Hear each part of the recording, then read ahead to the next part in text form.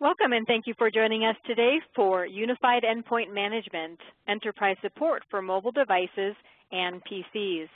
My name is Raleigh Gould and I will be your moderator for today's event. Our featured speaker is Steve Brasen, Managing Research Director at Enterprise Management Associates. Steve's career at EMA follows 19 years of experience in IT system support, engineering, and management for high technology, telecommunications, and financial institutions. Steve's primary focus areas at EMA include endpoint systems management, desktop virtualization, mobile management, and data center infrastructure management. And before I hand things over to Steve, I did want to take a moment to thank the sponsors of the Unified Endpoint Management Research, Dell Software and Landesk Software. And now I'd like to go ahead and turn things over to our featured speaker, Steve Brasen. Steve? Thank you very much, Raleigh. And thank you all for joining us today uh, for our discussion on unified endpoint management. Now, as part of our presentation, I'm delighted to be able to share with you for the first time uh, results from in-depth primary research EMA has recently conducted on the enterprise use of mobile devices and PCs. The intent of this research was to identify how the devices are used to support business processes today, how they are evolving to address the challenges of tomorrow, and to identify where enterprise requirements for the different devices intersect so consolidated management processes can be adopted that simplify the delivery of business services to endpoints without compromising on their security and reliability. Uh, the research results we received were uh, quite extensive, but unfortunately there just isn't enough time to present it all in a half-hour webinar, so we had to be very judicious about what we were able to share today. And to give you some idea of what we'll cover, here's a quick look at our agenda. Uh, first, we'll start with a brief discussion on the history and challenges of supporting PCs and mobile devices that has led to the need for a unified management approach. Then we'll dive right into the research and reveal the current and trending uh, adoption rates for, of smartphones, tablets, and PCs. We'll talk about how each of these device types is being used inside businesses today, and then we'll reveal how well organizations are actually achieving security and compliance goals. We'll follow this up with a discussion on the level of support uh, businesses are providing for these devices, and finally we'll sum it all up with some conclusions. Now, just to be sure we're all talking the same language, here are a few definitions, or at least the context I will be using them in today.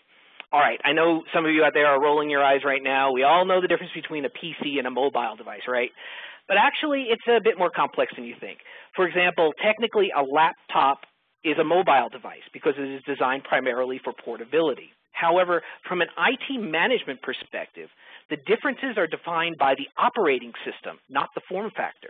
So for example, Windows and Mac devices are considered PCs, all of them. And iOS, Android, Blackberries, Windows RT, and Windows Phone devices are all considered mobile devices because of the, the, the, the platforms that they operate on. Also, just to be clear, the term PC sometimes refers specifically to a Windows desktop. And for the purposes of simplifying language, we'll be using PC to reference all Windows, Mac, and Linux desktops and laptops. Now, similarly, the term enterprise can sometimes be interpreted as just referencing large businesses or to refer to the flagship of the Federation. But today I'll be using it to re refer to organizations of any size. The intent is to contrast the enterprise use or business use or professional use of devices with their consumer use or personal home use of the devices. How employees uh, use business IT resources today has dramatically evolved in just the past year or two and continues to evolve.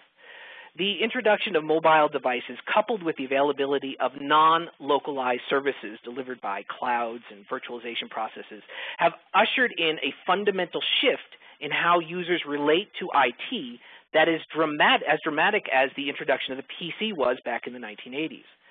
No longer content with limitations imposed by their physical devices, end users are now demanding unprecedented access to all business resources from any device and at any location.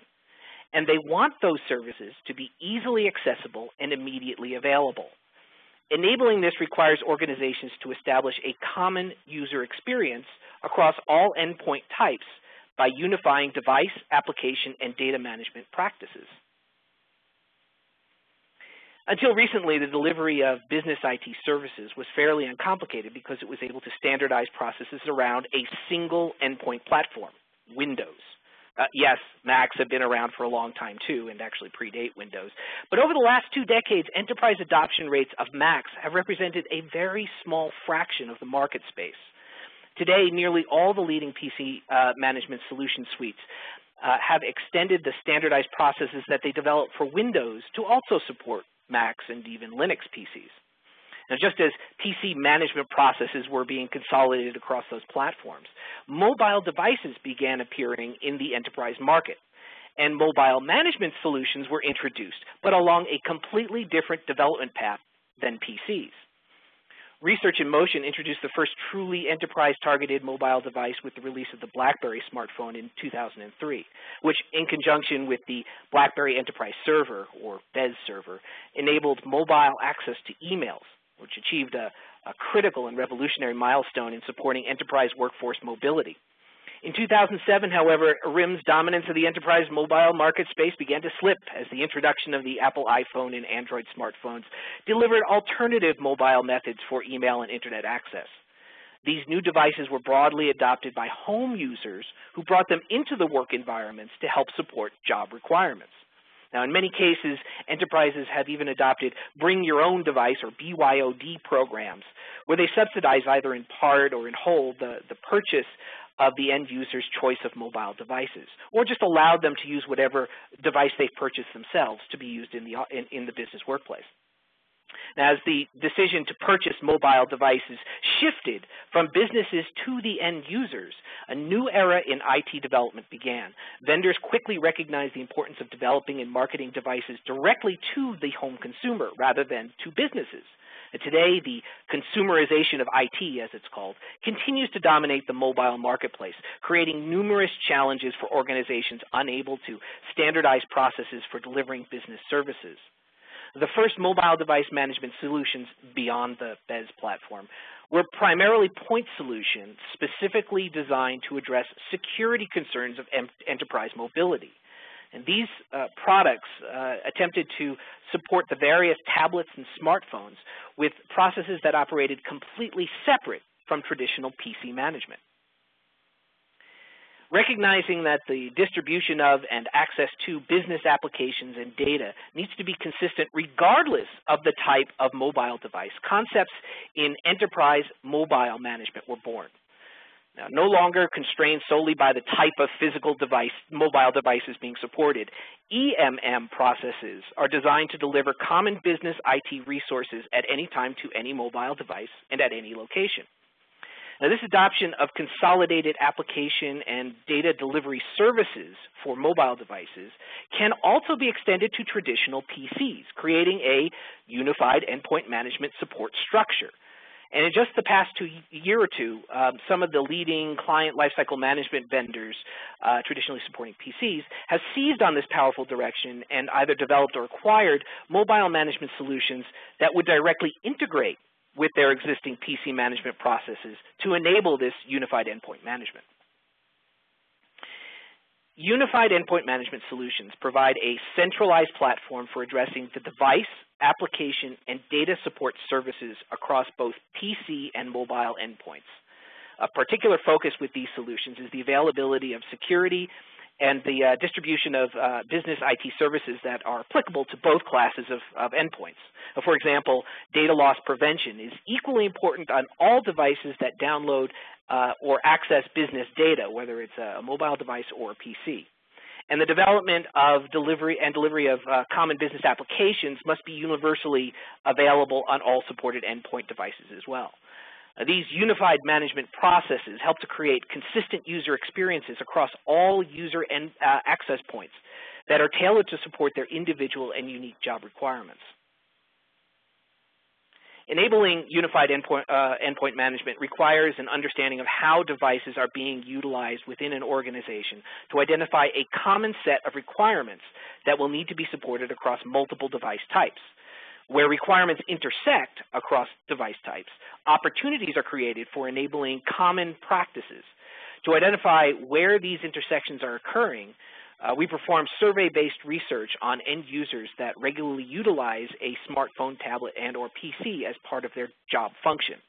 In total, uh, our survey netted more than 500 respondents across all industry segments.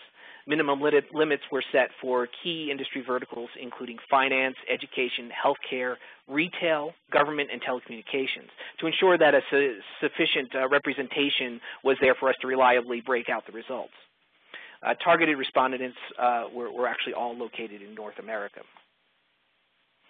Now we'll start our review of the survey results by looking at uh, platform adoptions in each device category. It should be no surprise for that in the in the smartphone uh, market space, uh, Apple iPhones and Android devices continue to dominate uh, the smartphone market, as both are also the most popular platforms on the consumer market today. 60% uh, of iPhones and 72% of Android phones were identified as having been selected and purchased personally by the end users. Now, by contrast, 76% of BlackBerry users uh, indicated their devices were given to them by their employers. It's also notable that BlackBerry market uh, continues to be primarily limited to especially large enterprises, as you can see in this chart. Windows Phone adoption has seen a modest uptick in the enterprise market this year, but still only accounts for 10% of overall enterprise use. Since the introduction of the iPad in 2010, Apple has uh, led the tablet market space, no question, and it has no real threats to its dominance. However, uh, although Windows RT devices have only been on the market for half a year, it's already achieved an impressive 13% share of the enterprise market. And when we asked respondents what platform they expected to use a year from now, well, as you can see, Windows RT is expected to grab an additional 10% of the overall enterprise market. Now, if these indications are correct, it would represent the first significant diminishing of Apple's dominance in the tablet market, or at least in the enterprise space. I'm personally skeptical that Apple will see similar losses in the home consumer market. As for PCs, if you follow technology news, you've, you've probably come across an article or two about the increased business adoption of uh, Apple Macs. And indeed, our research data shows that the enterprise PC market share of Macs has doubled from 3.5% to 7% in just the past two years. Now, that's substantial growth, but let's keep this in perspective. Windows deployments still hold 92% of the enterprise market space, and there is no indication that Mac adoption will substantially increase any, any further than it already has over the next year. Now, among Windows users, the platform of choice is certainly Windows 7, with 13% of respondents indicating that they have already moved to Windows 8. Uh, interestingly, a quarter of respondents indicated that they are still relying on uh, Windows XP. Now, okay, I, I, know this is off topic here, but for the love of Christmas, if you are still using XP, it is time to move on. XP reaches end of life in April next year, and only half of the XP users in our survey indicated plans to migrate by then, which is really, really kind of scary. Okay, back on track then. This is really uh, uh, an important chart here. In, in, fact, if you have only one takeaway from this pre presentation, this should be it. 87% of all business users are reliant on PCs and at least one mobile device today. Now this uh, vast majority, uh, the vast majority of the remainder of these only use a, a PC. It's the 11% of total market share. Um, so all this hype you've been hearing in the media predicting the imminent demise of the PC just isn't true. Mobile devices are supplementing the use of PCs, not replacing them. And this is essential to understand because it provides concrete proof that enterprise resources need to be made available on all device types. Now, the reasons for this broad multi-device adoption comes down to the simple form factors of the devices. Mobile devices are designed specifically to be portable, but they do not. Uh, but they do this by sacrificing the uh, more robust capabilities that are inherent in desktops and laptop PCs, such as larger screen sizes, easy-to-use keyboards, uh, extended battery power, graphics cards, fast CPUs, uh, large storage capacity, and so on. Uh, mobile devices are typically employed when the user needs to perform simple tasks at remote locations. and PCs are utilized when more complex tasks require more robust system architectures. The use of mobile devices as a supplement to PCs is not likely to change in the near future, and certainly not until such a time as mobile device capabilities and user experiences on them are comparable with that of, of a PC. Until then, it is clear organizations must be prepared to su uh, support uh, multiple endpoint device types. Further evidence of this was uh, revealed when we looked at the frequency and ease of use of various applications on each device type. Based on the results, we were uh, able to make some determinations on which applications can be optimally used for each device type. You should note that this chart is nested, so anything that works well on a smartphone is also optimally used on a tablet, and anything that functions well on a tablet will also be easily used on a PC. Of critical note, the uh, standard Office productivity tools, such as Microsoft Office, uh, Excel, and PowerPoint, were identified as being primarily too difficult to use extensively on anything but a PC. Now, this is a critical point of differentiation in the use of PCs versus mobile devices, and is more likely due to the need for a larger screen size real estate than anything else. Email was identified as a critical application for uh, by more than 90% of respondents. So it is uh, fortunate that it was also determined to be easy to use uh, uh and, and was broadly available on all three device types. Calendar management was also uh, indicated to be highly available on all devices, but was indicated to be too difficult to manage in, on smartphones in general. Examining security challenges. Uh, according to the survey results, one out of every eight mobile devices containing business data is lost or stolen. Smartphones are slightly more often stolen and tablets are more often lost.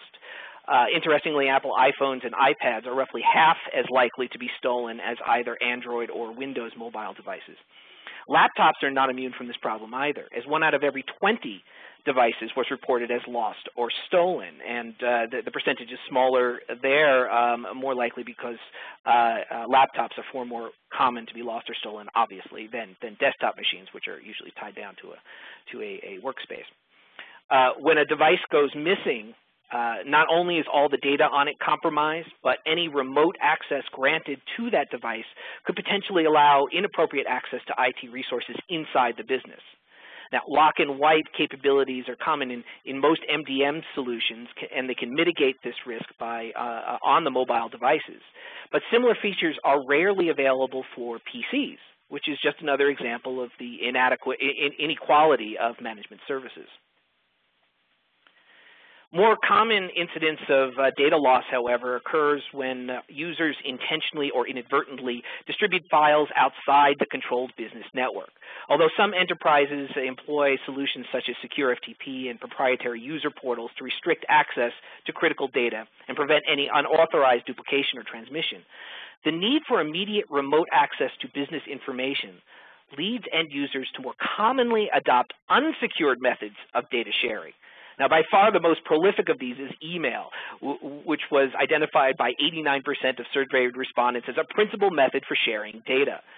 Attaching uh, files with uh, messaging applications also ranked high, as did the use of the cloud service Dropbox, both of which have been proven to be extremely susceptible to security breaches. Also of notable concern is the relatively uh, common practice of copying business data to physical media, such as USB devices taking it completely beyond the control of the business. Across industry verticals, education institutions have by far the worst record in performing unsecured data transfers, with the highest recorded rates of reliance on email, Dropbox, and physical media for data sharing. Although malware such as viruses, Trojan horses, and spyware are most commonly associated with PCs, smartphones, and tablets, uh, so smartphones and tablets are by no means immune to uh, being targeted by malicious software.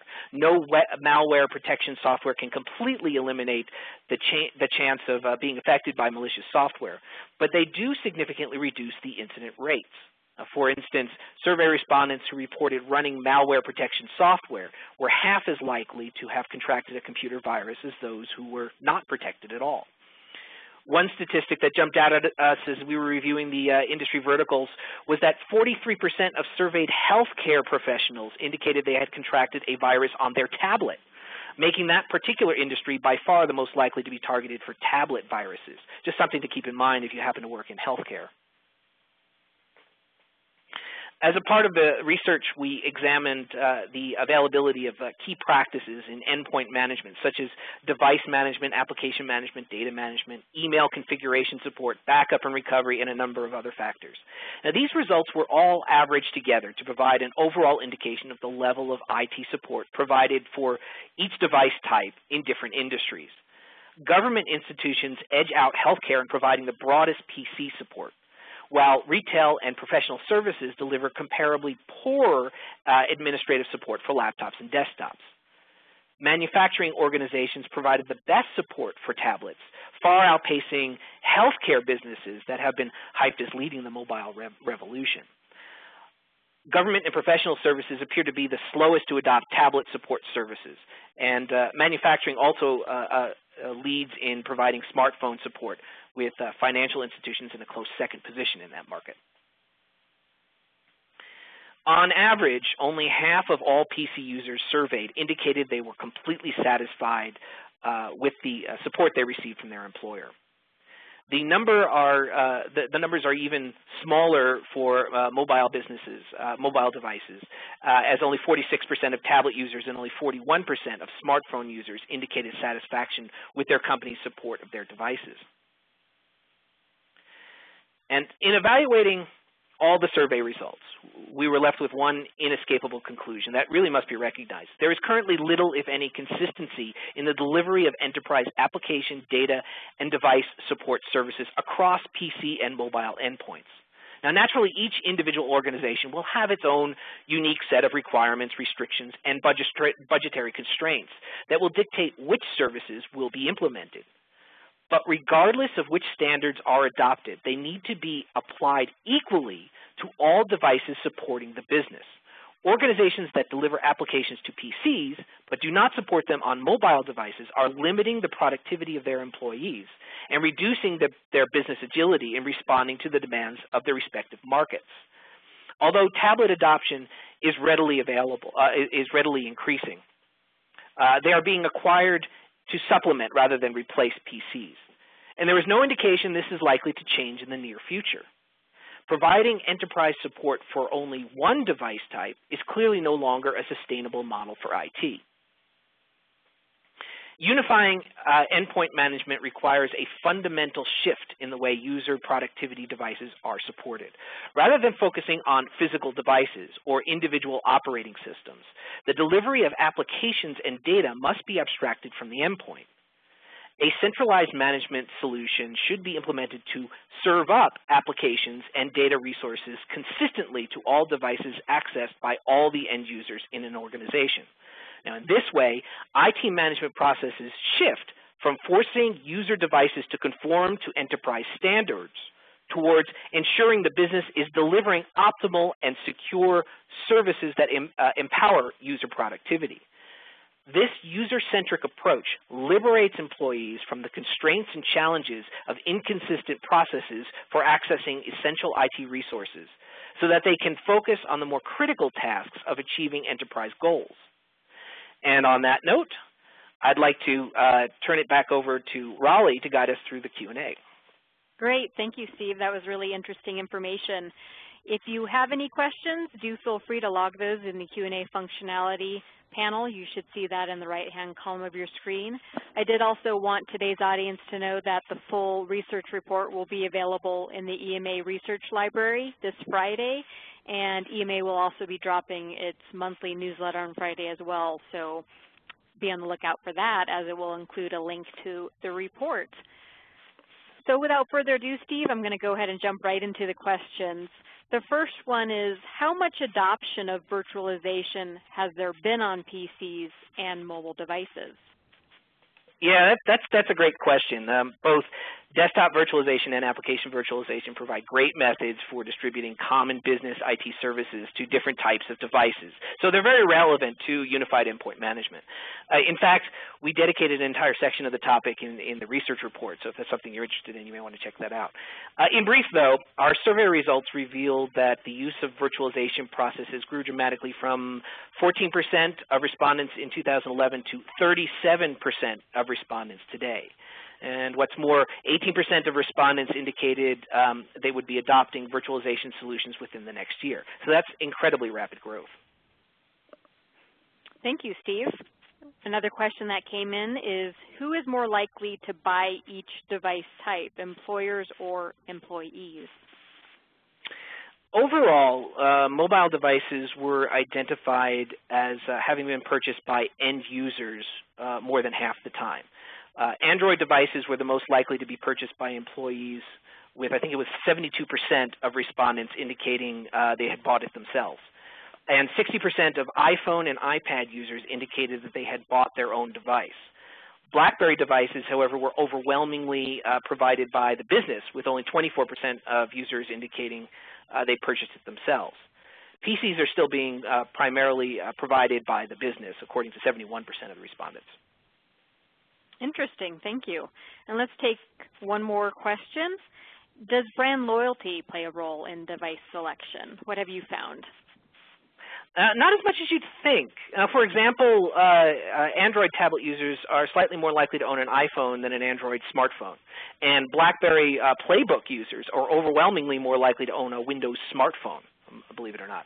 Uh, the most common platform adopt that were adopted um, by users that own all three device types were Apple iPhone, Apple iPad, and Windows PCs. So there is a, still a good deal of heterogeneity out there. Thanks for taking those questions, Steve, and I wanted to thank our audience for joining us today. You will be receiving a follow-up email from EMA tomorrow, and it will include the on-demand playback. And as I mentioned before, be on the lookout for the research report. You can check out the EMA Research Library to access it starting on Friday or in the EMA newsletter. Thanks again for joining us, and enjoy the rest of your day.